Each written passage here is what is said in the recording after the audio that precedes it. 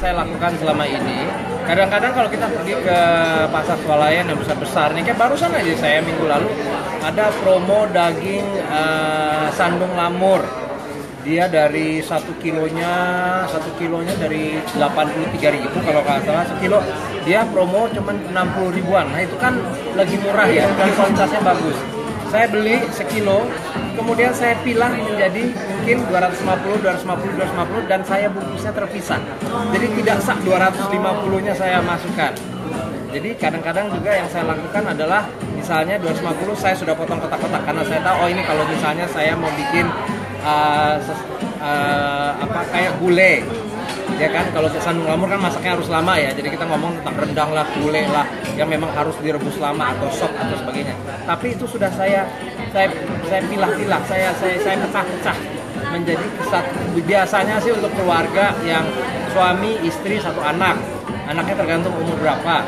Biasanya untuk itu apa? Kalau kita mau ngomong 300 gram udah cukup. Jadi katakan kita beli satu kilo ya udah kita bagi tiga misalnya dan tinggal dipakai digunakan sesuai kebutuhan aja terus simpannya di dalam freezer karena daging tidak sangat tidak disarankan untuk disimpan di kulkas karena untuk di kulkas itu dalam waktu 24 jam sebenarnya dia sudah tidak boleh digunakan lagi karena bakterinya sudah mulai tumbuh Kalau di freezer sampai berapa lama? kalau di freezer pun tergantung.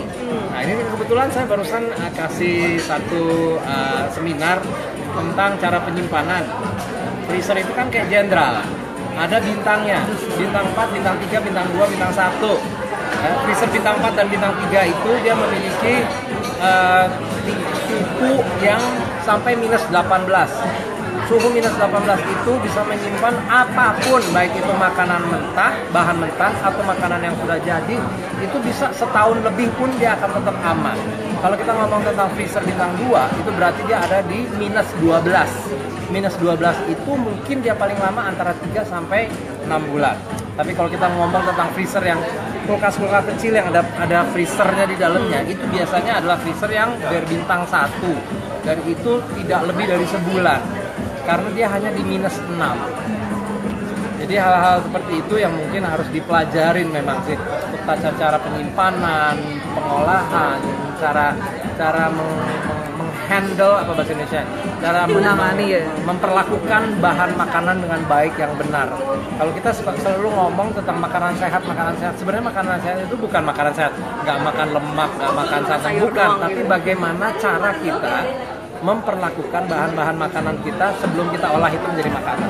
Kalau untuk eh, apa menyimpan daging di kulkas, eh di freezer itu ada kayak harus dipakein apa dulu?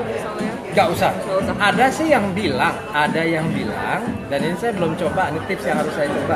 Katanya sebelum dimasukkan ke dalam freezer, direbus dulu, air mendidih, dicemplungin, diam dulu selama kurang lebih 5 menit. Kemudian diangkat, didinginkan, diademin istilahnya, kemudian dimasukin freezer. Katanya itu akan menjaga kualitas dari dagingnya. Saya harus coba itu.